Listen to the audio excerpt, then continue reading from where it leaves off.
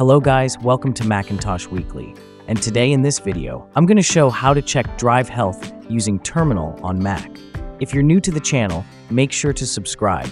And now, let's begin. There are various ways to check the health of a hard disk drive, HDD, and solid-state drive, SSD, that is used on a Mac with drives that support SMART.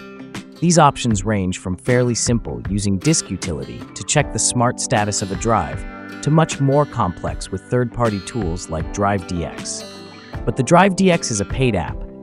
Here comes a free smartctl utility, which will check the SMART of the drive and health, provide the temperature of internal drives, as well as offer read and write information, which is relevant particularly for SSDs, and general drive health analysis. To get started with smartctl, open the terminal application if you have not done so already.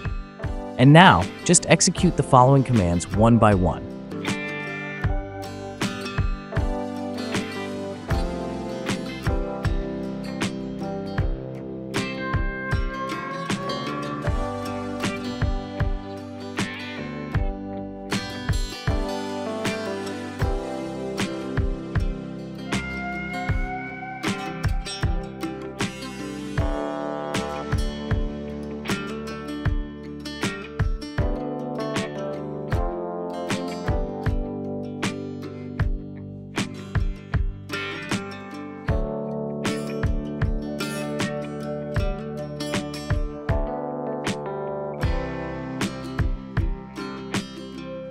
After Homebrew completes the installation of the smartctl package, you are ready to use the utility to display information about your disk device and drive health. Now, execute the following command to display information about your disk device and drive health.